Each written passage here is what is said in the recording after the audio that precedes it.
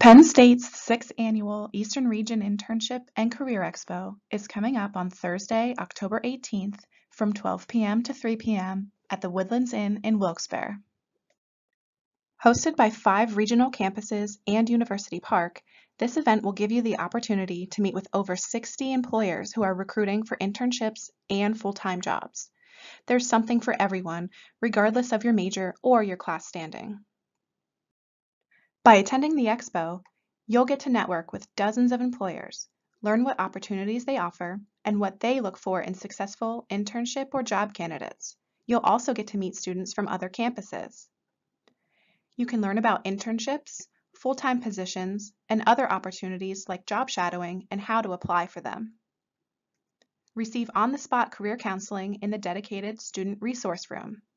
Take a break from talking to employers, get a pep talk, grab a bite to eat, or practice your 30-second introduction.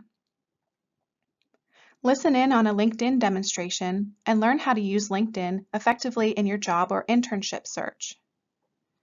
Receive feedback on your resume, and with registration, you'll get a free Padfolio and business card holder to keep yourself organized for this or any other professional event. All students must register for the Expo using this bit.ly link or going to the Career Services website from the Hazleton homepage. If you need a ride, Career Services is providing free transportation.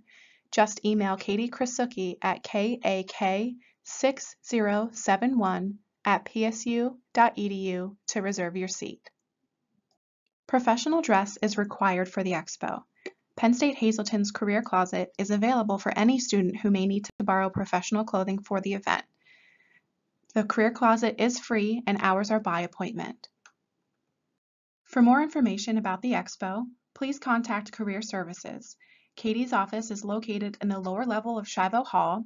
You can send her an email or give her a call. You can also visit the website for more information on upcoming events and additional resources for career services.